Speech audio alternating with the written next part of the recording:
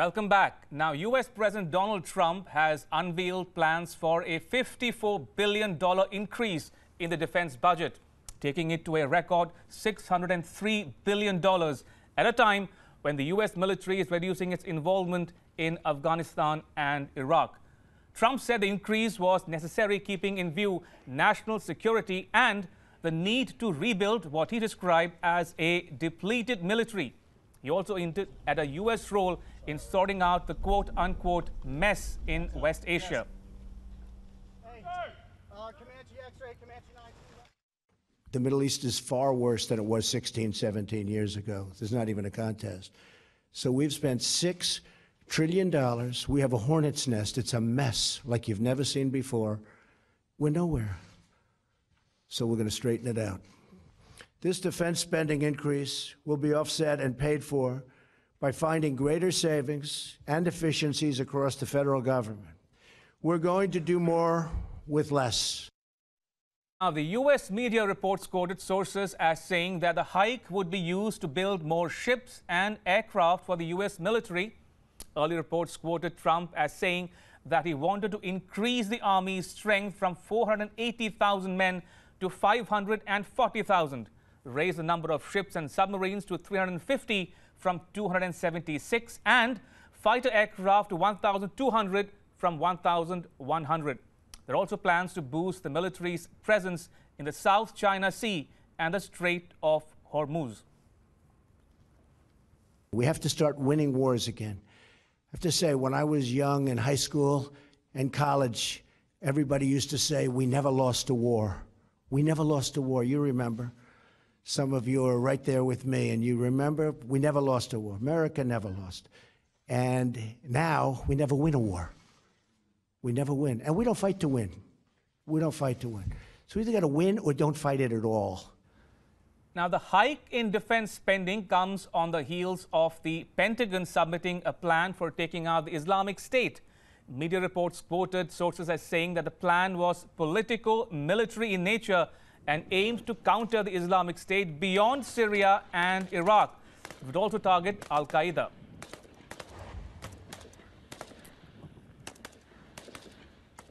To discuss this, we're now joined in the studio by Ambassador Shashank, a former Foreign Secretary of India, and also Atul Singh, founder, CEO, and editor in chief of Fair Observer, and a keen commentator on India US relations. Welcome, gentlemen, to Gravitas. Thank you. I want to come to Ambassador Shashank. Uh, Ambassador Shashank, what do you make of this uh, 54 billion US dollar increase, uh, a proposed increase in the US defense budget? Uh, firstly, it will mean that money has to come from somewhere. Uh, there will be cuts on the domestic budgets. Uh, they are likely to be on the foreign aid programs. Uh, so one will have to see as to what is the total package. Absolutely. Uh, without that, perhaps it remains only in the uh, minds of the policymakers in the United States. So actually, till they actually translating them into action. So we need to see that they want to take on the Islamic State ideologically and militarily. Uh, how do they do that?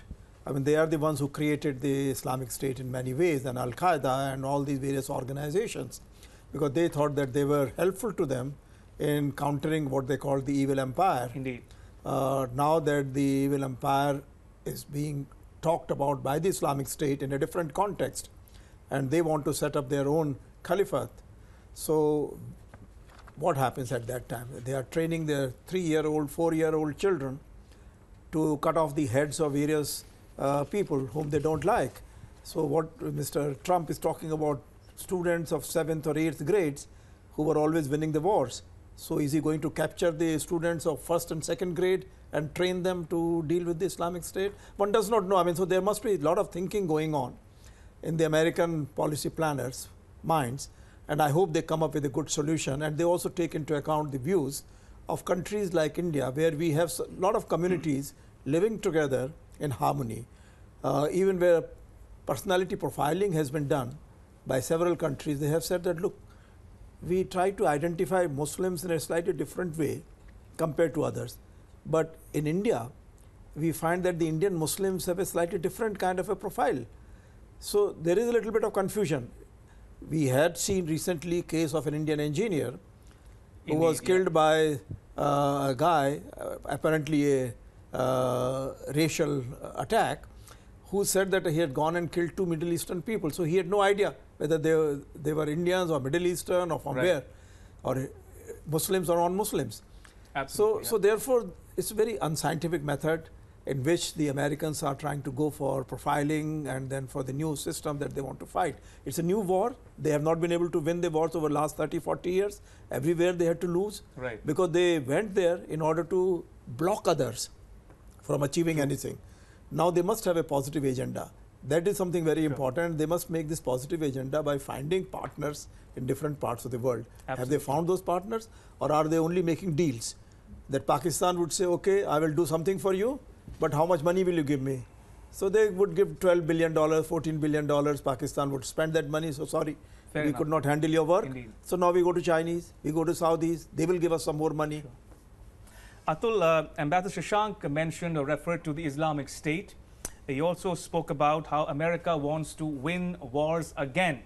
Now, before I come to the question for you, I want to quickly quote Trump when he said yesterday, and I quote him We have to win, we have to start winning wars again. I want to ask you can you throw some numbers at me as to why Trump would propose a $54 billion uh, increase in defense budget?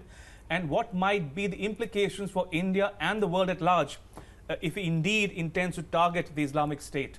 Okay. Uh, let's look at the numbers Sure. twofold. Right. One is, uh, you know, like the elephant's teeth. The tuskers are for show, but then there are the teeth the elephant used for eating. So Obama, the Obama administration, had forecast a $35 billion increase.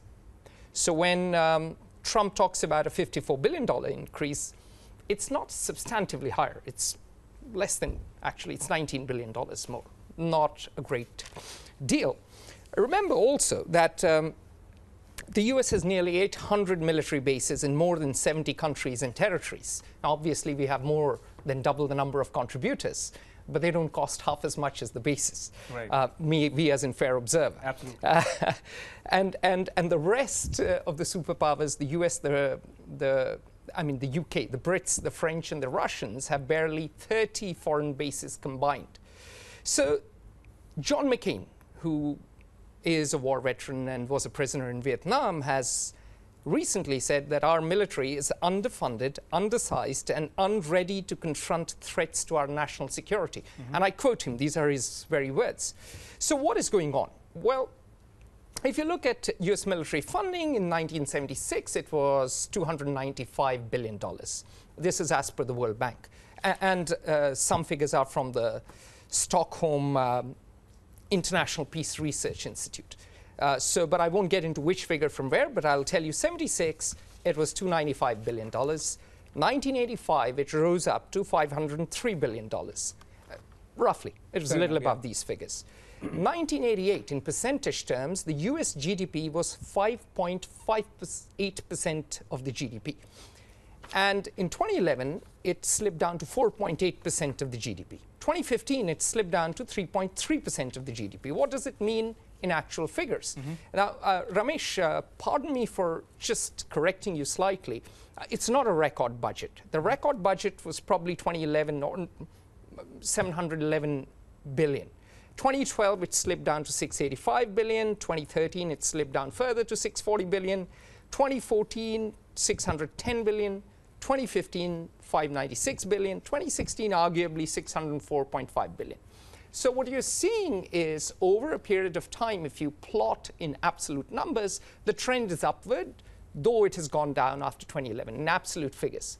In terms of percentage of the GDP, it has been downward since the end of the Cold War, um, and it spiked up a bit during the Iraq War and, of course, the Afghanistan War. Uh, but that slipped under the Obama administration because it had a very different view of international politics. Fair the Obama view was soft power matters more than hard power. Military power is trumped by international consensus building. Therefore, the peace deal with Iran, therefore, the peace deal with Cuba. I think what we are seeing, to use Donald Trump's words, is a reversion to a more hard power, more Okay. militaristic standing. And he said, and I quote, Nobody's going to mess with us, folks. Nobody. All right. Uh, and I think that's the underlying philosophy. Fair enough. Uh, coming to you, Ambassador Shashank, uh, President Trump has spoken of a quote unquote historic increase in military spending. And how does he propose to go about it? By uh, possibly reducing foreign aid. Now, how would that impact countries around the world, including some in our immediate neighborhood, especially Pakistan? Uh, Pakistan is a very difficult uh, client for the Americans because the Americans know that they have alternatives available to Pakistan and they are in a very dangerous area uh, where they have been provoking the terrorists in the Pakistan and Af Pakistan Afghanistan belt and a situation has reached where they cannot control everyone. They try to control some of the groups but not others. Uh, therefore, the Americans have to make peace with the Pakistanis. They have to keep funding them. So, if they cut down some of the uh, foreign aid programs for the farmers or for the uh, medicines and other kind of uh, social programs, they will have to give it in some other form. So, therefore, one does not know whether Pakistan would be encouraged uh, to cooperate more with the Americans or not. So, I think that remains an open question. Secondly, the Americans have to make a very clear thing as to how far can Pakistan go with the Chinese. Absolutely. Uh, on one hand, and secondly, the Pakistanis have not been playing ball on Afghanistan. Mhm. Uh, the Haqqani network has been encouraged by them. Uh, of course, there are attacks, terrorist attacks within Pakistan also, uh, but then they have been going in a very gung ho fashion, bombing all kinds of places in Afghanistan, and and so they must uh, be told very clearly as to where the red lines are Absolutely. vis-a-vis Afghanistan and on China. Sure.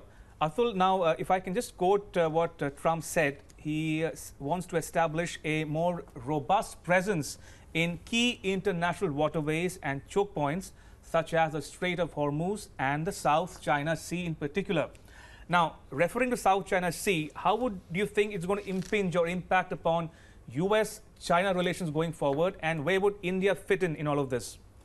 Would it, for instance, lead to a possible arms race in, in Asia, especially given Obama's so called rebalance or pivot to Asia, which Trump, for some reason, is not as bu- bullish about? But still, would it, uh, how would it you know, impact relations inside and inside uh, Asia in particular? Okay, so let's uh, take a step back. I, I wrote about the Asia pivot last year. It was quite a detailed article, and we published Conn Hallinan on how Trump could blunder into a war with China. Uh, so the risks are real. Um, Conn's Washington, D.C. chap. Now, if you look at the Asia pivot policy, the underlying premise was the Middle East is a sideshow, the real threat is going to be China. So let's focus on it, otherwise, Sure. we might be toast. Sure. Um, and the Straits of Hormuz and the South China Sea are critical because if you notice, uh, the growth of Southeast Asia was because all these countries were US satellites from Thailand to Philippines. Um, now, what Trump is doing at this period is doubling down militarily. He's saying we'll make sure that uh, we keep our military presence, we'll make sure that we keep the status quo. And the Chinese, who are dependent on energy from West Asia, are paranoid. Uh, they are absolutely paranoid of being choked off from energy, just as the Right. Japanese were before the Second World War. And so the Chinese really do not want that to be choked off. And mind you, uh, the arms race is a, is, is a big word because the Chinese military budget is 215 billion. Now it's big in compared in comparison to India. I was sitting with uh, friends in the defense ministry yesterday, and they were giving me the budget we have for modernization. It's pathetic. It's chicken feed. Uh, but uh, compared to China, compared to the U.S., the Chinese. Uh, spending in basic research, in military hardware, in offshore capabilities is peanuts. So China is reasserting itself in what it deems to be its historic neighborhood. The US is fighting to preserve the status quo, but there is one thing that Trump has done that has upset the apple cart. This is a very different administration to something we've seen before. Okay. This is a break and a breach in post Second World War consensus. And I will quote none other than Steve Bannon, a chap you might have covered. And Steve Bannon said there are three pillars or three buckets around which this, is, this administration is organized. Number one, national security and sovereignty. Number two, economic nationalism. Number three, deconstruction of the administrative state. Right. All three can be seen in this move uh, in some ways. Now, national security, yes, and sovereignty, okay, we've controlled these waters, we will. But that clashes with the second pillar because the TPP has been thrown out. Right. The TPP was the big fundamental fulcrum for the Asia pivot for the Obama administration. True. Decades of work went into it. That is out of the window. So the, the hook for all the Southeast Asian allies is, or the glue, has weakened, has been thinned out. Right. And, and that will make them wary of, of a clash because now they are economically very dependent on China. Absolutely. And, and, and the third thing, the deconstruction of the administrative state, which uh, our, our friend here has very eloquently alluded to, is that um, what that means is not just internally cutting down the EPA, cutting down the State Department, which, by the way, the Obama, uh, sorry, the, the Trump chaps have never liked, also means cutting down on aid, some of which has already been cut down because they've taken a very hardline stance as to abortion, which means that a lot of organizations Sure. that were getting funding for healthcare won't be getting it. So the deconstruction of the administrative state means that aid to Southeast Asia, aid to Pakistan will inevitably come down because look at it. Ye- see 2016 budget, US budget, 3.3 trillion were the revenues, 3.9 trillion was the expenditure.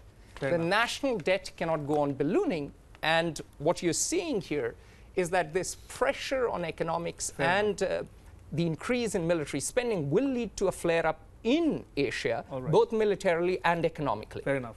Ambassador Shashank, now we've heard uh, Trump speak about America first and buy American and hire American. Contrast that with uh, Prime Minister Modi's Make in India. Do you see a strategic discordance there or strategic dissonance there? And how do we bridge or overcome this, uh, this new phenomenon, as it were?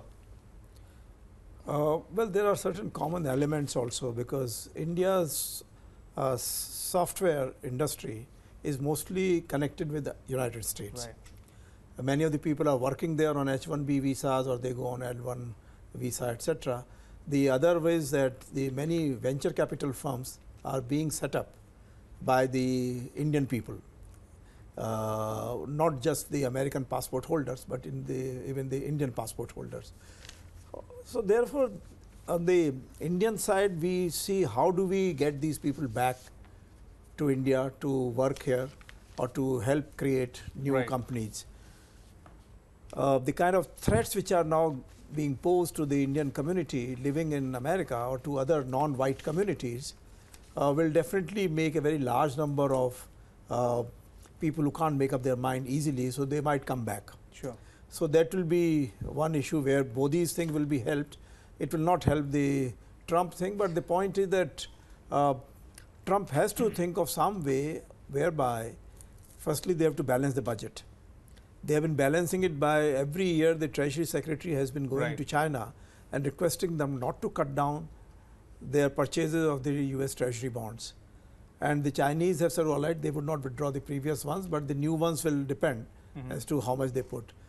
On South China Sea, as we talked a little while ago, the Trump administration wanted to write a new deal and say, well, one China policy is to be reviewed. Then till the Chinese told them that, look, this was signed by the Republican administration in 1972. So how do they go about it? I mean, then they, everything is off. So, so I do not know. I mean, they, they, it's one thing to make a policy announcement, but one needs to see how these policies have to be implemented. Uh, India is a, supposed to be a partner country to fight terrorism and also on the Asian uh, geopolitical scenario. Fair enough. But have any discussions taken place with India? Only our national security advisor had gone there. Foreign secretary has just now gone, but one sees uh, limited agenda Right. being given to them for discussions. Fair enough. Uh, on that note, unfortunately, we run out of time. Ambassador Shashank, Atul, thank you so much for your inputs. Uh, moving on, now the big story about North Korea. It's a classic whodunit that is still unraveling the killing of North Korean leader's brother Kim Jong Nam by one of the deadliest chemical weapons created by man. Two women have been arrested so far, but clearly there was no motivation for these women to eliminate him. So, who is the brain behind this brazen assassination? Meanwhile, UK based Telegraph newspaper has said that two suspected North Koreans are probably hiding in the Pyongyang embassy in Malaysia. For those of you who are new to this story, here's what happened in the Malaysian airport. You can see both the Kim Jong Nam at the circle on the left and the lady in the circle on the right. In the area circled here, you can see the lady covering the face of Nam, surprising him. Nam is seen talking about the incident to the security forces. He's seen here walking with a wobble, obviously in a bit of delirium. Here he is seen going into the medical room where he's supposed to have collapsed and died.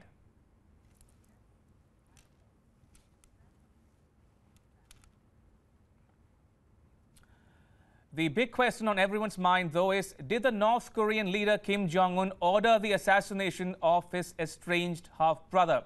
We have Jason Yeo, journalist of the Korea Herald, speaking to us on the possibility.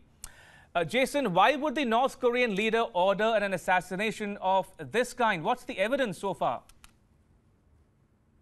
Um, all right. One of the uh, primary reasons for Kim Jong Nam being assassinated by, you know, apparently two, maybe does maybe more than like eight uh, assassins from multinational uh, country is that uh, he is considered to be a real threat to the Kim Jong Un regime, who is the leader of North leader of North Korea, and uh, like uh, after Kim Jong Nam uh, was uh, fallen out of favor of out of the race to you know become the leader of uh, become become the leader of um, North Korea.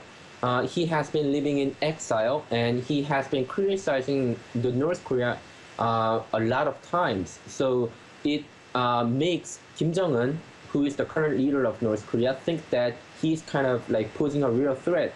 And to make the matter worse, uh, Kim Jong Nam uh, has long been considered to be a replacement of Kim Jong Un uh, by the Ch Chinese government, uh, even though there is a there is disputing evidence about that. So um, just yeah, in conclusion, um, Kim Jong has been threat to the Kim Jong Un regime, so the dictator uh, might have ordered, um, you know, taking out him, taking out him. Jason, what does the North Korean leader gain from uh, such operations? Does it enhance his position at home? Um, yep, uh, it will enhance his position at home because obviously uh, Kim Jong Un is a very young dictator and um, his uh, you know his grip on power is not as strong as his uh, father and his grandfather. So um, he wants to make sure that everyone would obey his you know like you know ironclad rule on his people and according to the reports and according recently there is a lot of you know uh, not a lot of but there are some high profile defection from north korea uh, recently there was a you know, number two uh, top diplomat, uh, North Korean, you know, um, diplomat in London um, was defected to South Korea recently, and he also criticized the regime. So I think Kim Jong Un might be afraid of, you know, those kind of defectors are, you know, like criticizing him. So um, yeah, it obviously uh, enhances his position at home. Right, the North Koreans have done kidnappings and assassinations on foreign soil before. What does this tell us of their intelligence uh, capabilities, Jason? Um, yeah, they have done a lot of, you know, kidnappings and, um, you know, terrorism attack against uh, foreigners, including South Koreans. Um, as far as I remember, there was a like cousin of, you know, the ruling Kim family was attacked in the late uh, early, you know, 20s, and uh, yeah, so um, he was kind of like assassinated on a broad daylight uh, by, you know, uh, assassin presumably hired by the North Korean, you know, agents. So um, yeah, there was um, you know, you know, cases uh, for North Korea to take out its uh, defector living in South Korea and other countries. So it is not uh, a new one, and I think they have a very you know powerful intelligence capability to um, find out um, you know hunt down you know defectors their own defectors uh, living abroad because uh, they have dispatched uh, their own spies and agents to you know take out those peoples. And some of them have you know like um, you know um, try to assassinate a lot of you know like defectors but they ultimately failed to do it and they got you know arrested by the South Korean authorities and then they told the police that there was some kind of like plot and you know um, intelligence bureau uh, conducting this kind of this kind of operation against those people so I think they have you know incredible intelligence capability. Do you think the North Koreans are being helped by the Chinese, for instance? Would the Chinese be inter interested in encouraging such activities, Jason? I don't think Chinese uh, has encouraged such kind of activities because um, uh, obviously North Korea and China is very close and they have fought together during the Korean War, but uh, the ties have been weakened recently after you know North Korea conducted nuclear tests and missile tests. So this make uh, this made China very nervous about North Korea's erratic behavior. So the ties are not as strong as um, you know the past. So I don't think the Chinese have ever encouraged the North to do such kind of you know like horrible thing. All right, on that note, we leave it at that. Uh, thank you, Jason Yeo, a senior journalist with the Korea Herald newspaper. Time for a short break. More news on the other side. Stay tuned to Gravitas.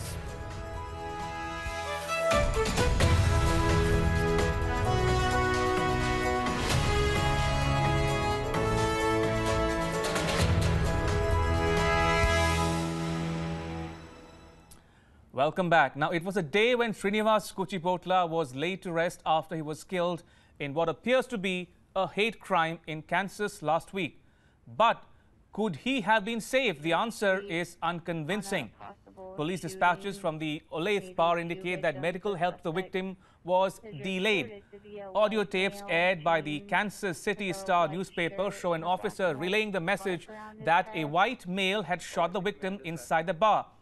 The officer can then be heard saying that medical aid had not yet been provided. 32-year-old Kuchibhotla, an engineer at Garmin Limited, was killed in the attack. His friend Alok Madasani and another customer at the bar, Ian Grillot, were hurt. Yeah, thank you. All right, for more on this uh, story, we're now joined by Anjana Singh, the media spokesperson for the India Association of Kansas City. Anjana, thanks for uh, speaking to us on Gravitas. Uh, I want to begin by asking you, is it true that uh, medical help was probably delayed uh, to the victim? Is that uh, your so. sense as well? No, I don't think so. See, any any incident like this happens in your community, the first thing is uh, making the making the area safe and secure for others. There was a church in front of Austin Bar, so priority was to make sure that every because if something like this happens, even authorities don't know what exactly happened, who shot where. Not many people were assuming that somebody fired the shot at church. So even parents were confused. So this whole area was blocked for more than one and a half hour. I, I, I don't think that the services was delayed because hmm. Ian and Alok were saved. Unfortunately, Srinivasan lost his life in this incident. But believe me, I, I'm, I'm not convinced that the services were delayed. Indeed. Uh, also, Anjana, his killing has shocked India, no doubt. But what's the predominant feeling or sentiment in Kansas? Uh, may I have your name, please? Uh, my name is Ramesh. Ramesh, uh, see, anything happens near your home front, where you live, where you stay, everybody should be scared because if you consider your area to be the safest place and something like this happens, you are definitely scared. So it's not that Indian community is scared. Every other community living in this place is scared because something like this, they never imagined that this will happen in Kansas or Olathe or Overland Park.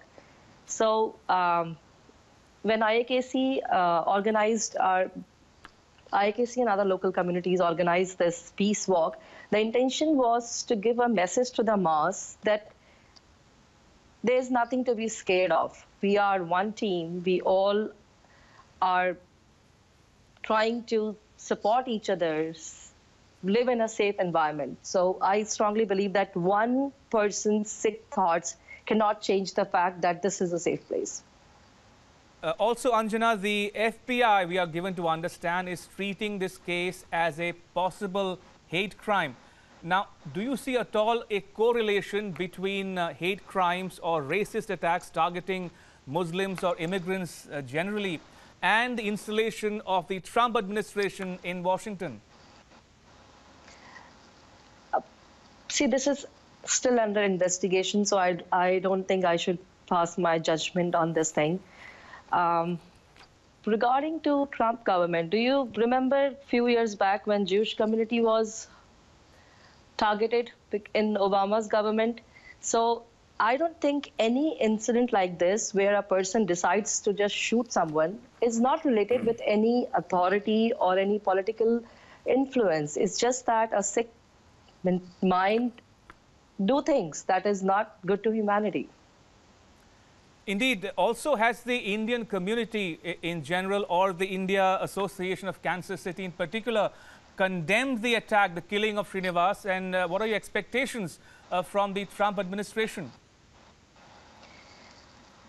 As far as Trump administrations, we, we do not have any expectations. We just expect this place to be safe again we just want our community to feel safe again. So the Congress Yoder, when Kevin Yoder came on the vigil service that we organized, when he said that Indian community is a vibrant part of Kansas City, and that I would definitely repeat his line that Kevin Yoder said, attack on one of us is attack on all of us. That was a strong message that congressmen tried to communicate with the mass that this is this is not accepted.